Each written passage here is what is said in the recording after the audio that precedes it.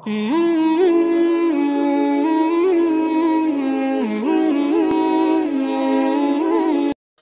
مجالس العلم وهجر الصحبة الصالحة.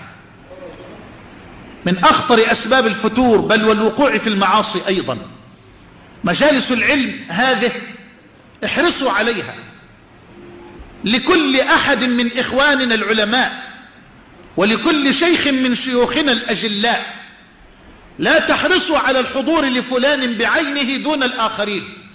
ما دام هذا العالم أو الشيخ يسمعك عن الله وعن رسول الله قولا صحيحا عن الصادق احرص على مجالس العلم ففيها يتجدد إيمانك وفيها يزداد يقينك وفيها يزول الجهل ويتحقق العلم.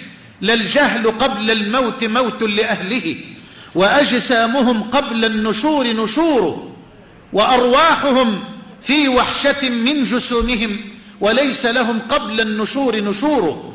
فأحرص على أن تتعلم عن الله أحرص على أن تتعلم عن رسول الله. فمحال أن يكون حال الإيمان في قلبك الآن. وقد جلست قبل الظهر بساعة وصليت تحية المسجد.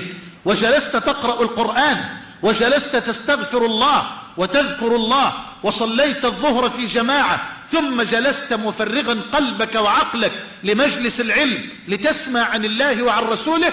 محال يا أحبابي أن يكون حال الإيمان في قلبك الآن كحال الإيمان في قلبك وأنت أمام التلفاز.